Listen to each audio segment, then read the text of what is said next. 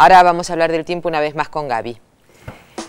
Y mañana miércoles tendremos que esperar mucho calor en el norte argentino, allí en el noreste con la probabilidad de tormentas a partir de la mañana y máximas que rondarán los 35 hasta 36 grados. Sobre el noroeste tiempo inestable, también ya se están registrando algunas tormentas en Jujuy y en Salta. En el resto de la zona algo parcialmente nublado y aquí se espera la jornada de mucho más calor con 37 grados de temperatura máxima. En la región de Cuyo, buen tiempo sobre el oeste, no así en San Luis, donde allí continuará el tiempo inestable. Se prevé que continúe el tiempo inestable con algunas tormentas en forma aislada. En la zona centro-oeste desmejora el tiempo. En Córdoba, Santa Fe, también sur de Entre Ríos con la probabilidad de tormentas, algo de inestabilidad en la costa atlántica. En el resto de la zona, máximas que rondarán los 30 a 33 grados. Y en el sur argentino, vientos muy fuertes del sudoeste, oeste, allí con intensidades hasta 70-80 kilómetros por hora. Además, la probabilidad de precipitaciones en el sur y a lo largo de toda la región cordillerana. Como siempre, la información la brinda el Servicio Meteorológico Nacional.